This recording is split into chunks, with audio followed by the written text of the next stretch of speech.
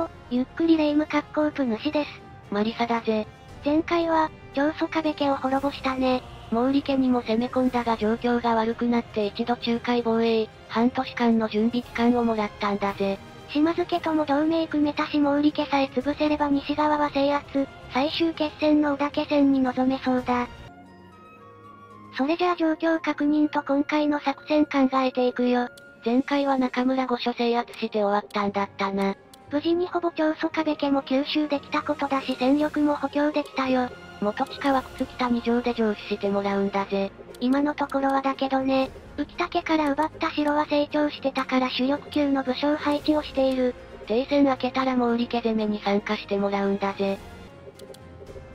そして関東は織田家、徳川家が北条家に攻め込んでいる。兵力は多いが武将が恐ろしく強いに勢力に同時に攻められてどこまで持ちこたえれるか。個人的には北条家が粘ってくれないと今後の展開がきつくなるんだけどね。織田家が兵力使う先がなくなると一気に城も成長してしまうし最終決戦の時に万全の状態になってしまうからな。足名家も織田家に攻めてるし東北が今後どう動いていくかも注目だね。そして今回の作戦。今回は毛利家との停戦が終わり次第攻めていこうと思う。まあまあ時間あるから河野家先に攻めれそうだな。河野家は兵力多いけど武将自体は村上水軍以外強くはないからそこまで苦戦しないはず。本拠地付近から出陣させちゃうと毛利家との戦いの時に帰ってきてないとかなりそうだから極力周辺部隊で完結させたい。最近紹介してなかったから政策も紹介。必要最低限しか発令してない感じだな。制度改新がようやく星3になるし発令終わったら無駄遣いしていこうと思う。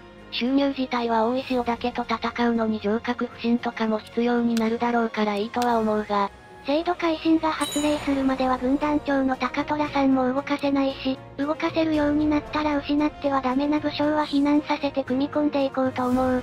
最初の威風が終わったら一気になだれ込んでくれるのが理想だな。そういや本拠地移動はしないのか？最近軍団の便利さを知ってからはあまり本拠地移動する気が起きないんだよね。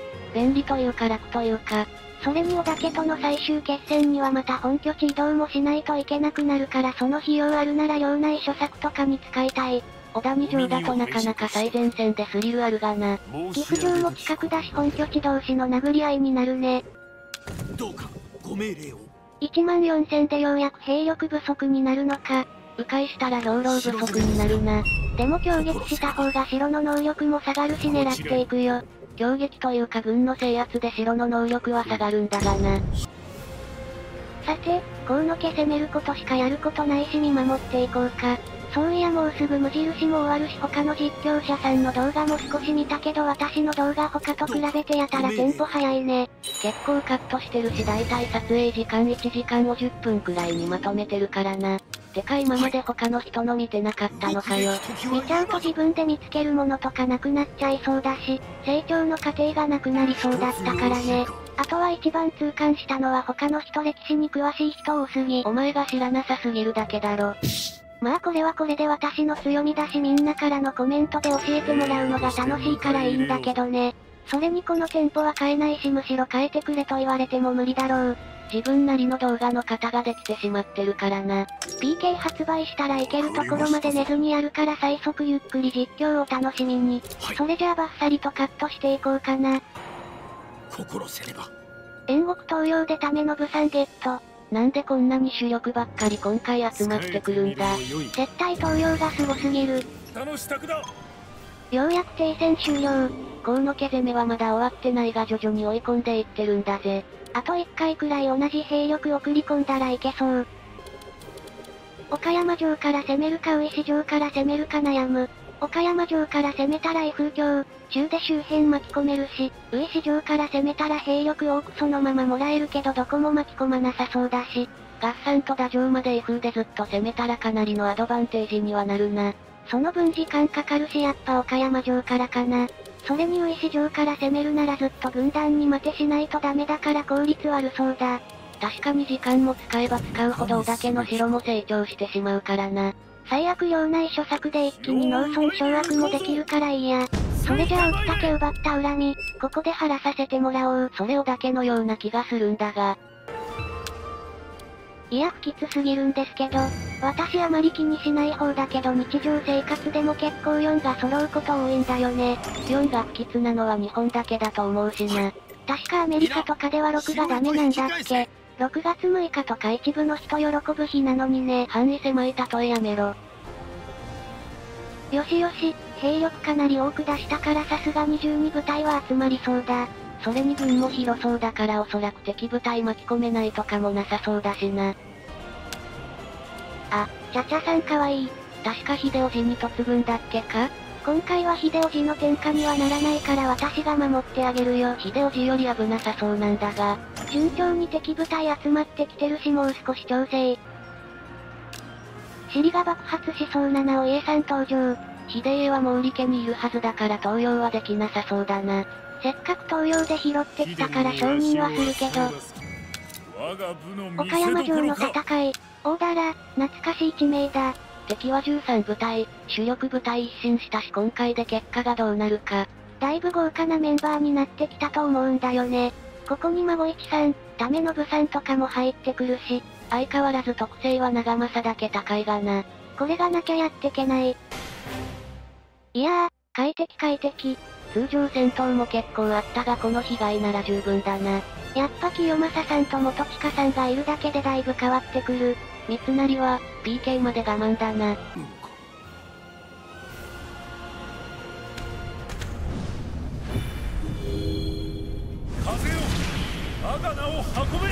高田城どうだ？なんということか巻き込んでないな。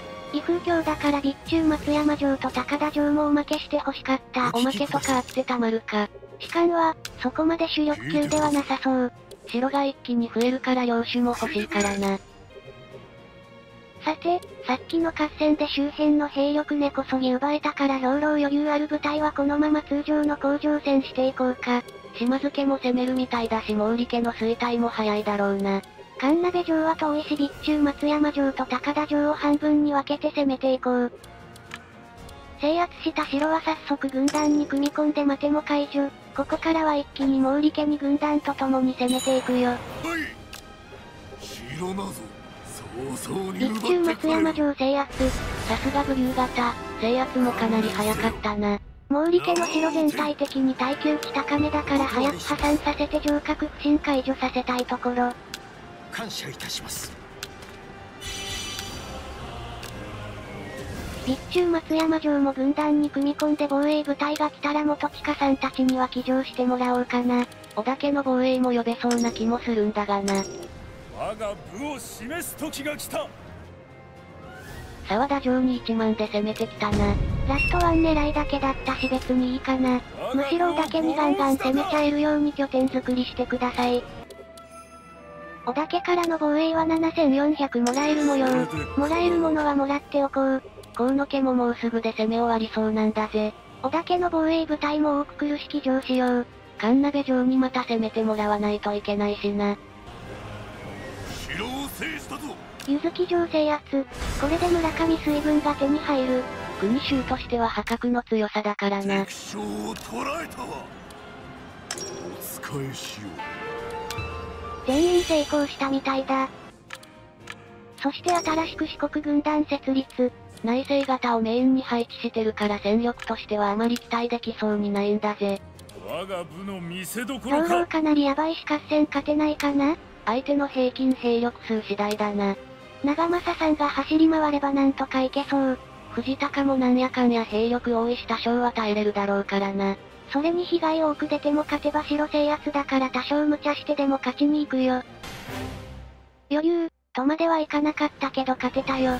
長政が途中機動力ダウンの戦法食らってちょっとだけ具だったんだぜ。最後は優勢勝ち、勝てればそれでよし。ありがたい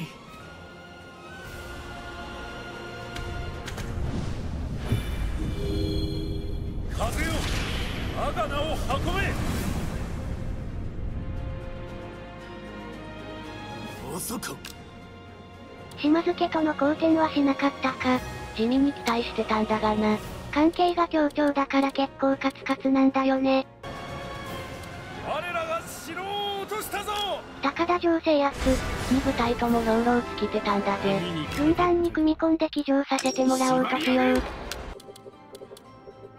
あ、北条家守りきったみたい。兵力も回復してるみたいだしやるな北条家。伊達家もなぜか間延びしてるのに織田家に優勢。織田家が北条家に向かってる時に奇襲成功したのかもな。最後に兵力確認。最大兵力だけで言うと北条家抜いたな。一番びっくりしたのは織田家と武将数が変わらないことだよ。もしかしたらモブ城主も多く参戦してくることになるかもな。次回とその次くらいで毛利家終わらせて最終決戦かな。途中実家に帰省するがなんとか間に合いそうなんだぜ。ってことで今回はここまで。チャンネル登録がまだの人は、ぜひチャンネル登録よろしくお願いします。よろしくなんだぜ。それでは、ご視聴ありがとうございました。